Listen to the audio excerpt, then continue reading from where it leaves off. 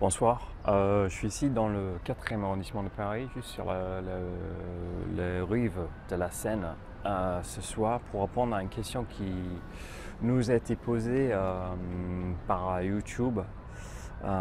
et la question c'était assez longue donc je vais le lire pour tout le monde et je vais essayer de fournir une réponse assez longue quand même parce que la question est à plusieurs parties donc je vais décomposer la question en deux parties, deux grandes parties.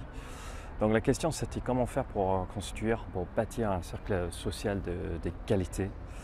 Euh, la personne posant cette question a demandé en disant euh, j'ai deux groupes de potes aujourd'hui mais ce sont des potes que j'avais avant même de, progresser lorsque j'étais pas au niveau où j'étais en ce moment en parlant de son développement personnel, sa capacité de séduction.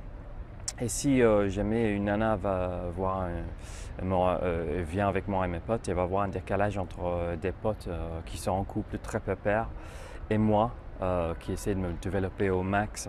Donc j'essaie de faire d'autres amis, mais je n'arrive pas à trouver ceux qui sont dans la même optique que moi, qui sont capables de me tirer vers le haut. Donc comment est-ce que je peux créer un cercle social de qualité en accord, avec cette personnalité qui, qui souhaite toujours progresser C'est la première partie de cette question.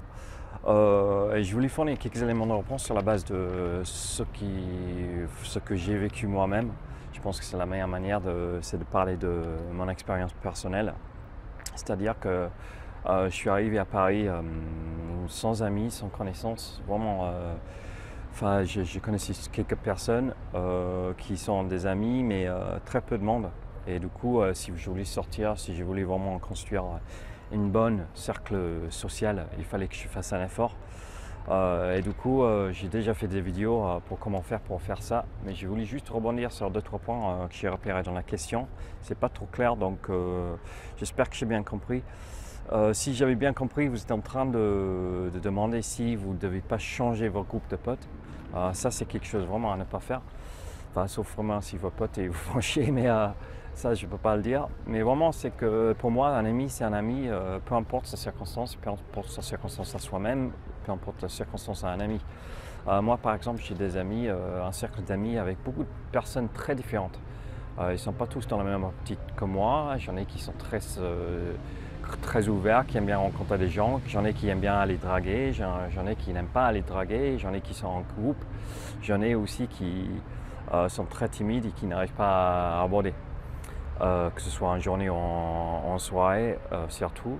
Du coup, euh, je pense que vraiment, si il s'agit de, rencontrer des amis pour une nana et de présenter vos amis à une nana, une nana, elle, va, elle est là tout d'abord, première chose, elle est là pour vous, pas pour vos amis. Si elle vous aime, si elle vous apprécie énormément, elle va accepter vos amis. Vous n'avez pas à cacher vos amis, vous n'avez pas à dire bah, écoutez, euh, ces amis-là, je ne peux pas vous les présenter parce que nanani nanana, elles sont pépères, elles sont en couple et moi je ne le suis pas. Moi, par exemple, en Angleterre, j'ai euh, un groupe d'amis euh, très, très, très solide.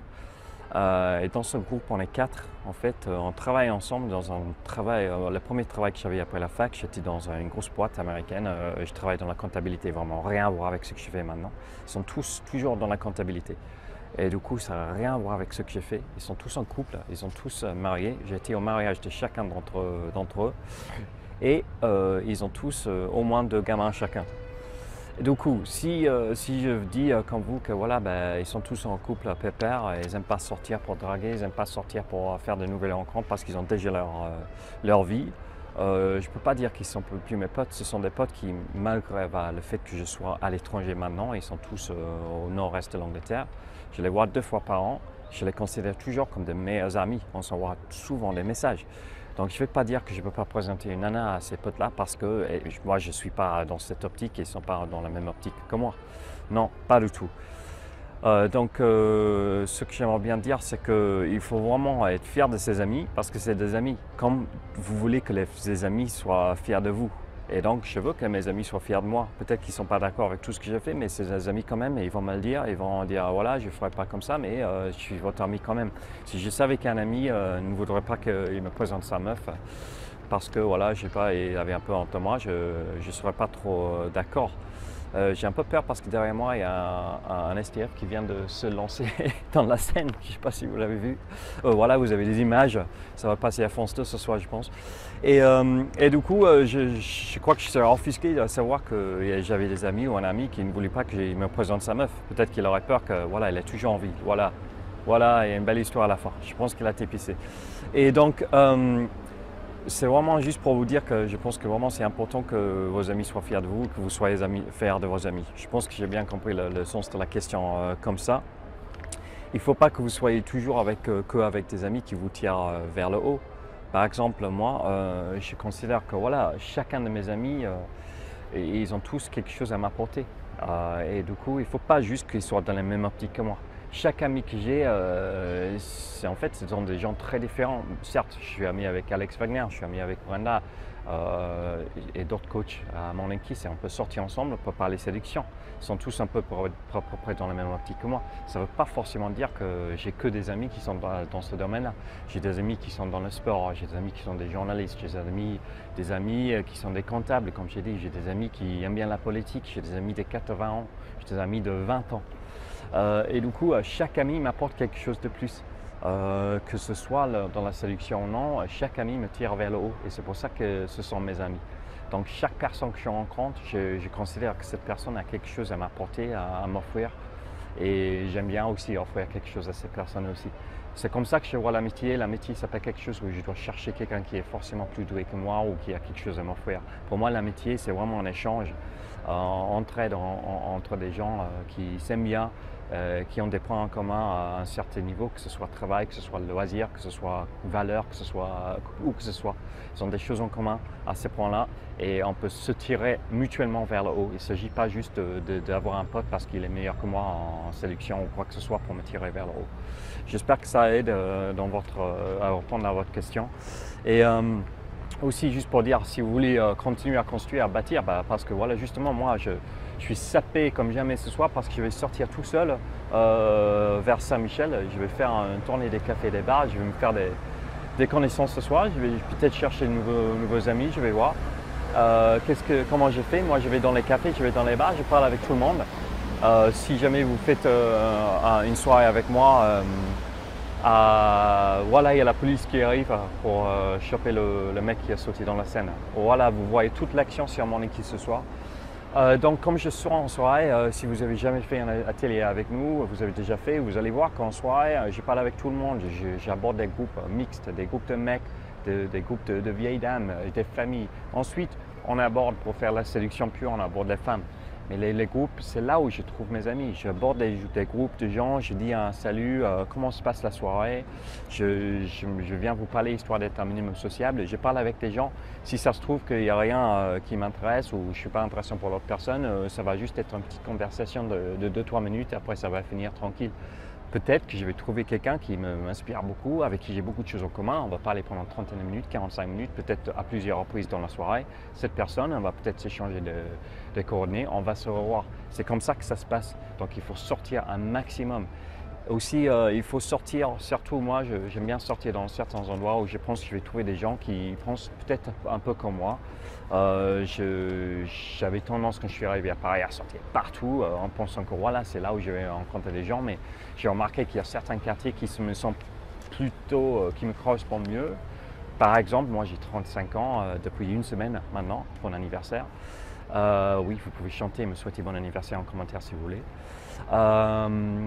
Et en fait, euh, j'ai remarqué qu'il y a certains endroits, par exemple rue de Lappe à Bastille, où j'allais euh, tous les soirs quand je suis arrivé à Paris. Et finalement, en fait, c'est pas que des jeunes, mais c'est des gens qui sont hyper, hyper jeunes, qui sortent par là, entre 18 et 22 ans. J'ai remarqué que la plupart des gens que je rencontrais, euh, certes, j'ai fait de super connaissances là-bas, mais c'était vraiment très jeune pour moi. Et à partir de 30-35 ans, quand j'ai maintenant, je commence à vouloir sortir avec des gens qui sont, vraiment fréquenter des gens qui sont un peu plus âgés euh, dans mon âge, même si ce n'est pas que le cas. Comme j'ai dit, j'ai des amis de 21 ans, de 80 ans. Euh, j'ai quand même, je trouve que j'ai plus de choses en commun, plus de vécu avec des gens qui, sont à peu près qui ont à peu près la trentaine. Donc je vais sortir dans les endroits où je trouve ce genre de personnes. Je suis souvent au Perchoir du Marais et là c'est un endroit où on voit des gens qui sont euh, entre à peu près 24 et 44 ans, à peu près, mais à de tout. Mais euh, là c'est un endroit qui me correspond beaucoup mieux. Euh, du coup il faut vraiment, là où vous êtes, soit à Paris ou en province, il faut chercher des endroits qui vous correspondent en ce qui concerne les gens que vous cherchez, l'âge, peut-être si, vous... Moi, en fait, j'ai un style assez particulier. Alex Wagner me traite souvent de dandy.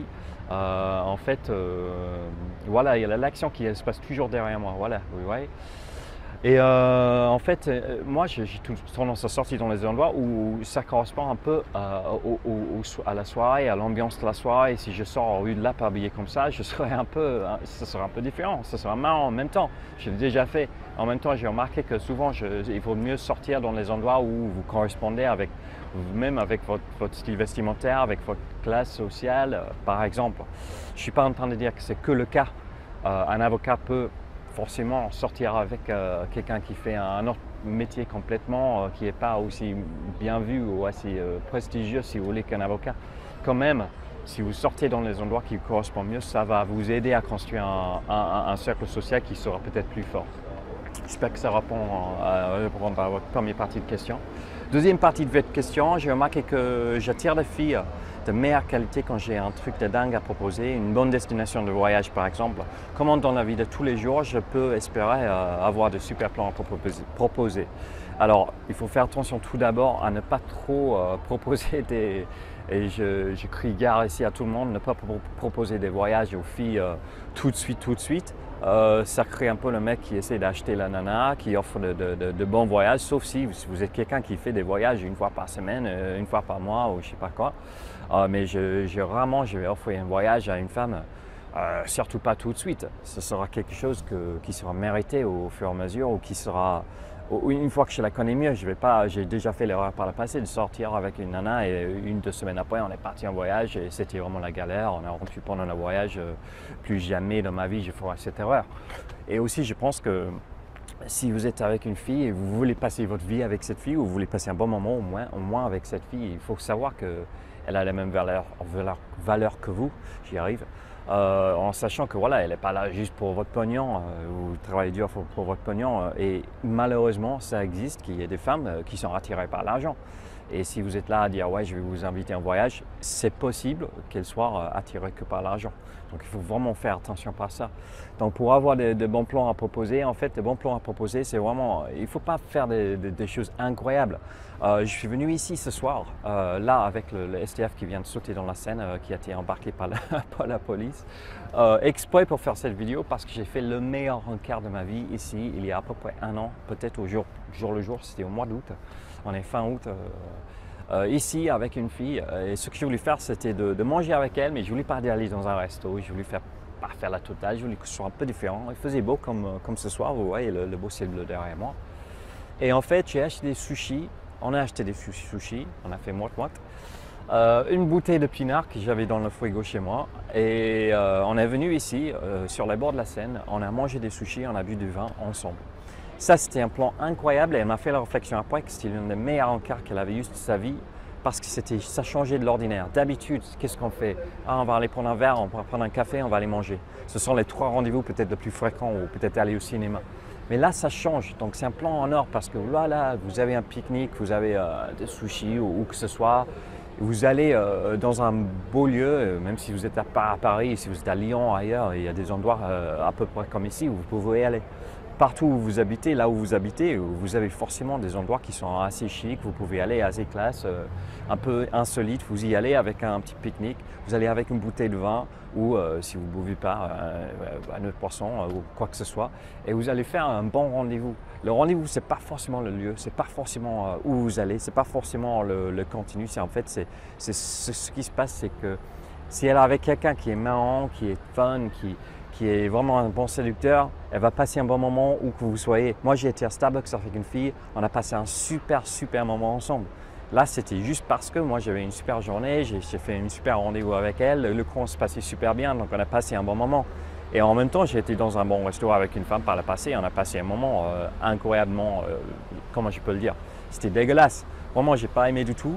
Et ça, c'était à cause du fait que voilà, c'était peut-être moi, ce n'était pas le lieu parce que j'étais dans un lieu qui était meilleur que, voilà, on va dire salut à tous les touristes. Salut Voilà, il dit salut de retour. Et, donc voilà, franchement, c'est pas le lieu forcément. Il ne faut pas avoir des plans en, or, genre prendre un bateau mouche pour aller sur la Seine. Il faut juste aller faire un truc qui un, peu de l'ordinaire pour ne pas être quelqu'un trop, trop, trop prévisible. Et c'est surtout ce qui se passe pendant le rendez-vous, c'est de, vraiment euh, bien mener euh, et de vraiment, vraiment euh, faire preuve d'un peu d'autodérision, d'être marrant, de, bien parler, de bien écouter la femme et de la faire passer un bon moment par ce que vous dites, par ce qui vous êtes, plutôt que de, par ce que vous faites, ce que vous lui offrez. J'espère que ça reprend aussi la deuxième partie de votre question. si vous avez des commentaires, des questions pour rebondir encore, Faites-moi part de cela. Je vais essayer de me renseigner pour le, mec qui s'est fait embarquer par la police. Il n'est plus là. Voilà. Je pense qu'il est en ce moment euh, sur un bateau euh, du commissariat du 4e arrondissement de Paris. Et du coup, euh, derrière moi, il y a un petit bateau avec la musique. Donc, je vais peut-être traverser le pont et je vais voir ce qui se passe là derrière. Et je vous souhaite bonne soirée et à bientôt sur Morning Kiss. Ciao